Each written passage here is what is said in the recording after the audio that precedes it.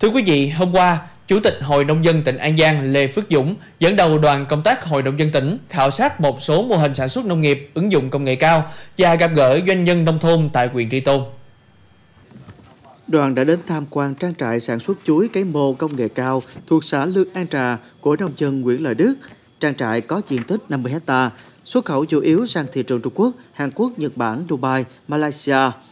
Chuối được trồng theo phương pháp hữu cơ, không sử dụng thuốc hóa học, nên chuối cho hương vị ngon, màu sắc đẹp để đáp ứng tiêu chuẩn các thị trường khó tính. Đoàn công tác cũng đến tham quan hợp tác xã chăn nuôi bò giống trên địa bàn ấp Ninh Lợi, xã An Tức với khoảng 60 con bò được nuôi bằng nguồn cỏ trơm ngoài tự nhiên và có bổ sung thêm thức ăn công nghiệp, mô hình cho lợi nhuận trên 500 triệu đồng một năm. Bên cạnh đó, đoàn cũng làm việc với cơ sở uống cây tầm dông với diện tích trồng 10 hecta của nông dân Trần Thanh Sơn, xã Lương Phi, tham quan cơ sở chuối sấy mọc kết hợp du lịch sinh thái homestay của nông dân Dương Phước Hải, ấp Ô Tà Sóc, xã Lương Phi. Thông qua chuyến khảo sát, cho thấy nhiều trang trại mô hình nông nghiệp trên địa bàn huyện Tri Tôn áp dụng công nghệ tiên tiến, ứng dụng khoa học kỹ thuật cao, thân thiện với môi trường, thích ứng với biến đổi khí hậu và đem lại giá trị sản xuất cao. Công an tỉnh An Giang vừa phối hợp công ty cổ phần thép miền Tây khóm Long Hòa, thị trấn chợ mới, huyện chợ mới tổ chức tiêu hủy nhiều công cụ hỗ trợ và vũ khí thô sơ các loại đã tiếp nhận, vận động thu gom, thu hồi trên địa bàn.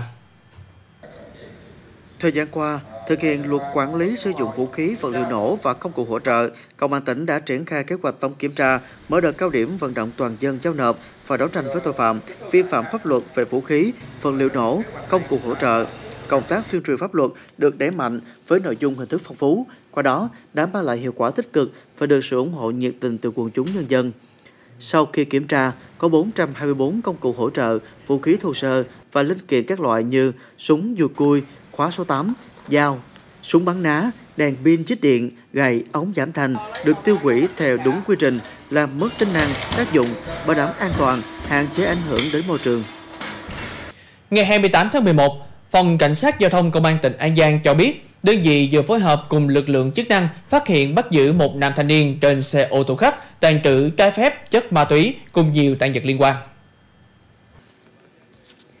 Trước đó, khoảng 21 giờ 20 phút ngày 25 tháng 11 năm 2024, bằng các biện pháp nghiệp vụ cùng với sự hỗ trợ của quần chúng nhân dân, tổ công tác thuộc phòng cảnh sát giao thông công an tỉnh đã phát hiện trên xe ô tô khách đang lưu thông trên đường Lý Thái Tổ thuộc phường Mỹ Long, thành phố Long Xuyên có đối tượng nghi vấn tàn trữ trái phép chất ma túy nên tiến hành dừng phương tiện để kiểm tra. Qua kiểm tra phát hiện trên xe có Ngô Trường Giang, sinh năm 1992, trú xã An Cư, thị xã Tịnh Biên, tỉnh An Giang.